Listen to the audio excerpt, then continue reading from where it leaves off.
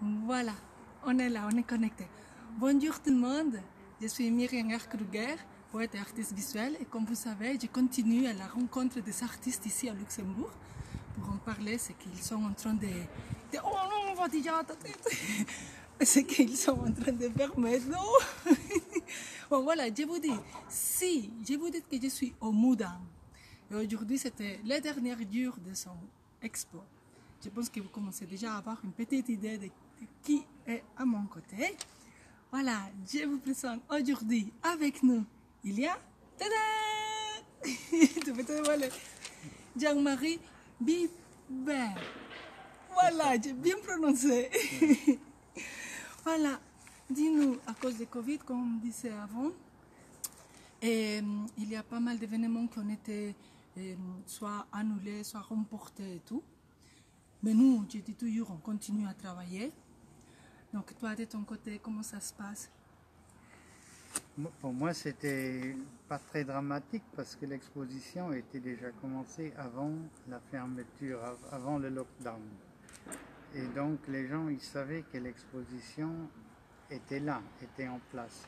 On a eu une dizaine de jours où c'était ouvert et après ils ont fermé.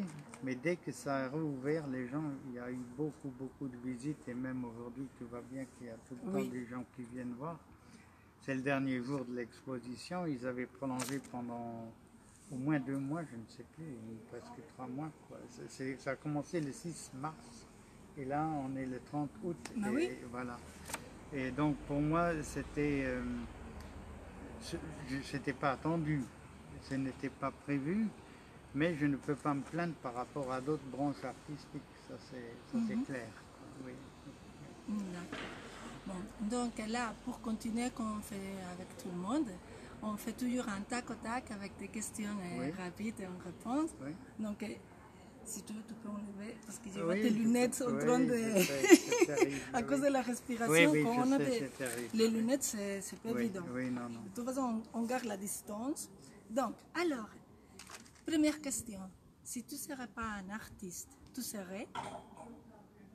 Peut-être facteur, mais à l'époque, quand on mettait des vraies lettres dans les boîtes pour les gens, des lettres d'amour, Ah. des choses comme ça. Oui, ah, d'accord, ça c'est bon. Donc, est-ce que tu as un surnom ou tu avais un surnom quand tu étais petite ou... Oui, bim, bim. Les gens m'appelaient bim. Oui, oui. Si tu pourrais inviter trois célébrités à dîner avec toi, mort ou vivant, euh, voilà, bonjour l'imagination, ça serait qui?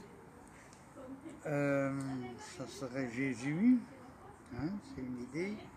Jésus, peut-être euh, Martin Luther King,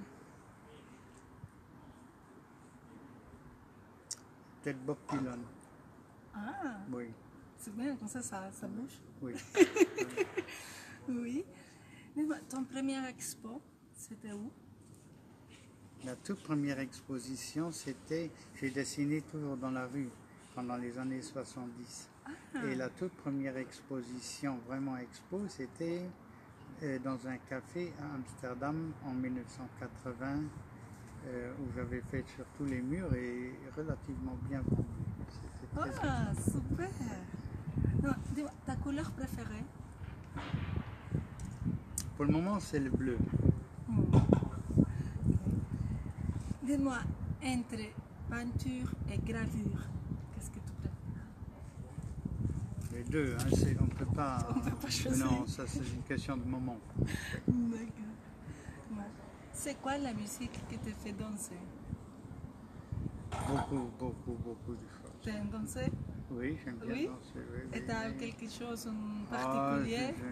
J'aime beaucoup de choses. J'aime euh, j'aime, euh, le Buena Vista Social Ah, Club. J'aime oui. euh, j'aime Eric Burden quand il était avec War. J'aime j'aime beaucoup de choses.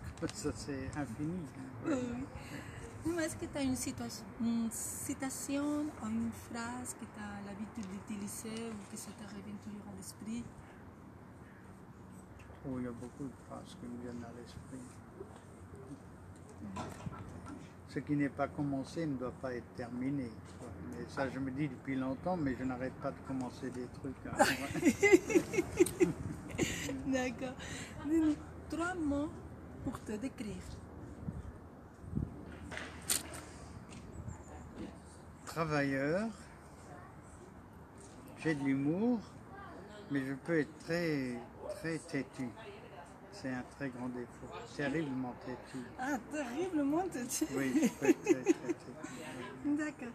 Est-ce que tu as un rituel avant de commencer à travailler Oui. Ou- Oui? Lequel? Tous les jours, le matin, il faut que je me lève, je me lave, je fais mon café, je prends mon carnet et j'écris mon- mes premières impressions de la journée. Et il me faut mon café matinal. Si j'ai pas ça, je- on ne peut pas me parler. Alors je suis impossible. Est-ce que tu as un rituel aussi quand tu dois faire le ver- avant un vernissage? Non, non, non. Là, non. Parce que c'est toujours différent.